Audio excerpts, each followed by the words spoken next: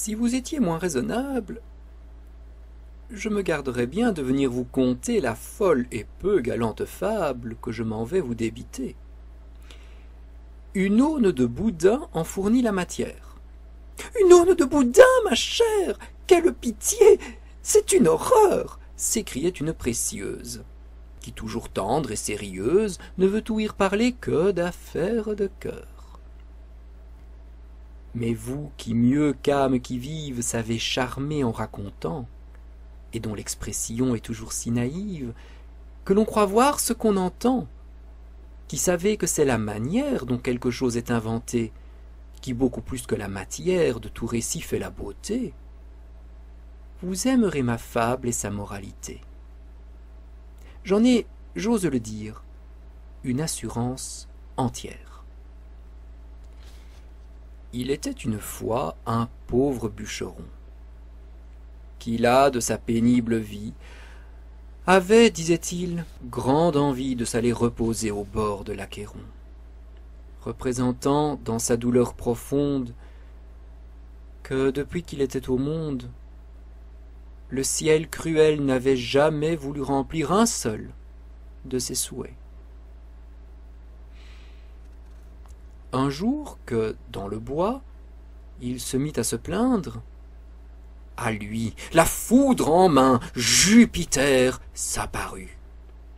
On aurait peine à bien dépeindre la peur que le bonhomme en eut. Je ne veux rien, dit-il, en se jetant par terre. Point de souhait, point de tonnerre, Seigneur, demeurons but à but. Cesse d'avoir aucune crainte. Je viens, dit Jupiter, toucher de ta complainte, te faire voir le tort que tu me fais. Écoute donc. Je te promets, moi qui du monde entier suis le souverain maître, d'exaucer pleinement les trois premiers souhaits que tu voudras former sur quoi que ce puisse être. Vois ce qui peut te rendre heureux. Vois ce qui peut te satisfaire. Et comme ton bonheur dépend tout de tes vœux, songe-y bien avant que de les faire. À ces mots, Jupiter dans les cieux remonta, et le gai bûcheron, embrassant sa falourde, pour retourner chez lui sur son dos la jeta. Cette charge jamais ne lui parut moins lourde. Il ne faut pas, disait-il entre-temps, dans tout ceci rien faire à la légère. Il faut, le cas est important, en prendre avis de notre ménagère. Ça, dit-il, en entrant sous son toit de fougère. Faisons, fanchon, grand feu, grand cher. Nous sommes riches à jamais. Et nous n'avons qu'à faire des souhaits. Là-dessus, tout au long, le fait, il lui raconte. À ce récit, l'épouse vive et prompte forma dans son esprit mille vastes projets. Mais considérant l'importance de s'y conduire avec prudence, Blaise, mon cher ami, dit-elle à son époux, ne gâtons rien par notre impatience. Examinons bien entre nous ce qu'il faut faire en pareille occurrence. Remettons à demain notre premier souhait et consultons notre chevet. Je l'entends bien ainsi, dit le bonhomme Blaise. Mais va tirer du vin derrière ses fagots. À son retour, il but et goûtant à son aise près d'un grand feu la douceur du repos, il dit, en s'appuyant sur le dos de sa chaise, Pendant que nous avons une si bonne braise, qu'une aune de boudin viendrait bien à propos. À peine acheva-t-il de prononcer ces mots, que sa femme aperçut, grandement étonnée, un boudin fort long, qui, partant d'un des coins de la cheminée, s'approchait d'elle en serpentant.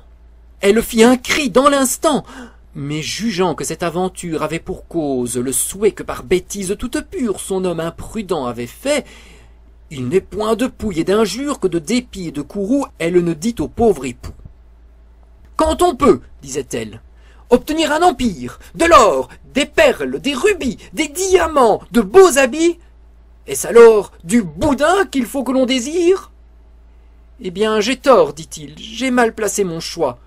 J'ai commis une faute énorme. Je ferai mieux une autre fois. Bon, bon, dit-elle, attendez-moi sous l'orme.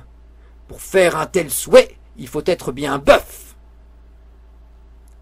L'époux, plus d'une fois, emporté de colère, pensa faire tout bas le souhait d'être veuf.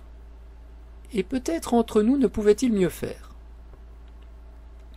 Les hommes, disait-il, pour souffrir sont bien nés. Peste soit du boudin et du boudin encore. Plût à Dieu, maudite pécore, qu'il te pendit au bout du nez. La prière aussitôt du ciel fut écoutée. Et dès que le mari la parole lâcha, au nez de l'épouse irritée, l'aune de boudin s'attacha. Ce prodige imprévu grandement le fâcha. Fanchon était jolie, elle avait bonne grâce, et pour dire sans phare la vérité du fait, cet ornement en cette place ne faisait pas un bon effet. Si ce n'est qu'en pendant sur le bas du visage, il l'empêchait de parler aisément. Pour un époux, merveilleux avantage, et si grand qu'il pensa dans cet heureux moment ne souhaitait rien davantage.